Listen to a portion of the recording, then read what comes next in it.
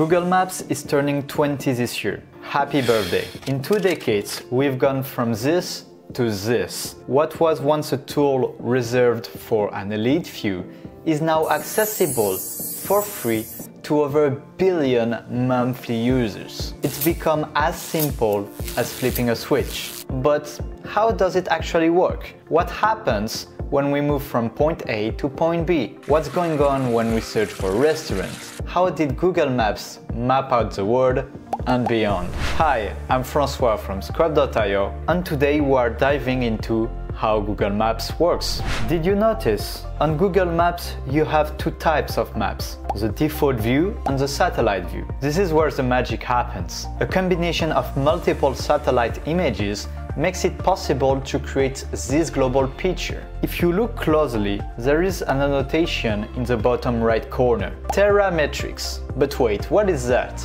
Turns out it's a mapping company. And here, we have NASA, and there, Landsat Copernicus, another mapping company. Google doesn't initially own the satellite images. Often these images come from companies that sell them to others or to governments. Now let's zoom in a little. We then have access to a more surprising source, Airbus. That's right. Images of Earth also come from photos taken by aircrafts. It's hard to grasp the feed behind these images. They come from various sources taken at different times with different settings. And all these parts need to be combined into one coherent whole. That's the real tour de force of Google Maps. That was for the view from above. Now let's get a bit more down to earth. The image you see here comes from Street View. Created in 2007, Street View uses a technique called photogrammetry. Armed with Google cars topped with a 360 degree camera, you have probably spotted one before. Add LiDAR sensors and a GPS, and you get a complete snapshot of your surroundings at a given moment. This time the source is often found in the top left, typically labeled as Google Street View. But it's not always a Google car. Depending on the terrain,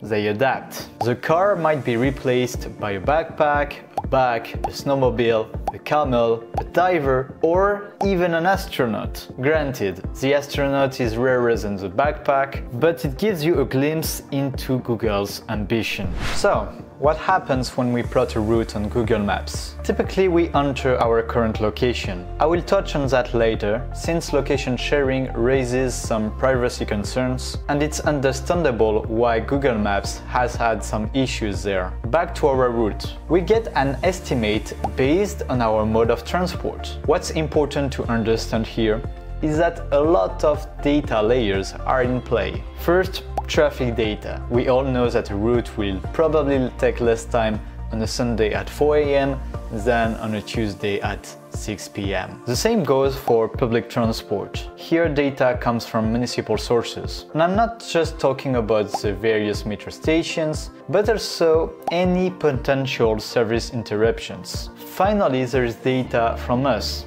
the users. When we go somewhere, Google Maps might ask for our feedback on the crowd density. This accumulation of data over years helps identify patterns and create predictions. So we can estimate the travel time if I decide to leave the next day at 8 am. We have covered a lot already, but there is one more key player, and it's a big one. When we type into the search bar, it's either to get directions or to find a list of businesses. In this case, Google Maps transforms into a search engine, and that's what it does best. The top results are always the most complete, enriched by users for reviews, peak hours, and over details, but especially by the businesses themselves. If you see claims this business, it means the business hasn't taken control of its profile. They can reclaim it by creating an account on Google Business Profile. Once that's done, they are free to update their information. They can add a website, phone number, opening hours,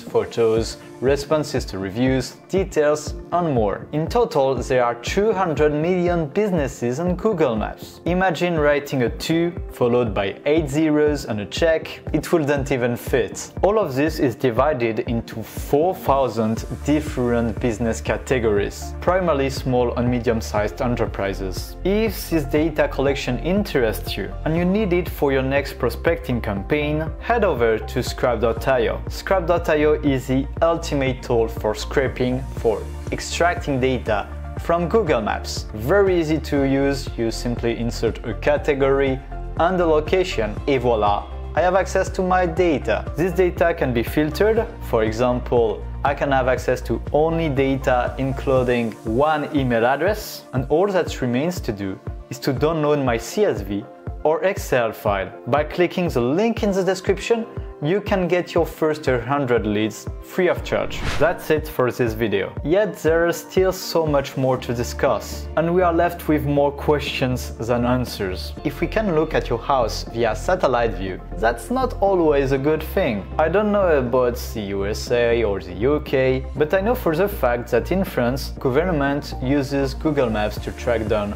undeclared pools or garden sheds. And if you are being watched, that's obviously for your own good, isn't it? Yet governments can borrow certain sensitive areas for obvious security reasons. So it makes you wonder why it's impossible as an individual to blow your home for the satellite view. This time that's truly it. If you are interested in scraping Google Maps, you can check scrap.io or click the link in the description. Thank you for watching. If you have enjoyed the video, as usual, subscribe. There is nothing else to see. The end.